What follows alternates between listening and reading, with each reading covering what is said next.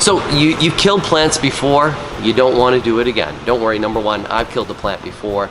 I'm gonna give you two really easy ones that you can have indoors in your house. First one is called the ZZ plant, also known as Zamiifolia. Super easy, great plant for low light. And you can almost see that it has almost a thicker stem there.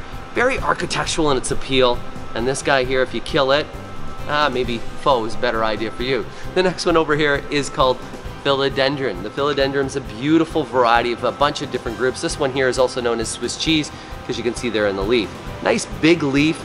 It'll be one that's forgiving if you forget the other, the occasional watering, let's say, but another one that's gonna do good to low light to bright light. So two that you gotta remember, the ZZ plant, the philodendron. If you can make those guys survive, you're gonna have a great day, a nice green day, and a happy day. Plant killers will convert you.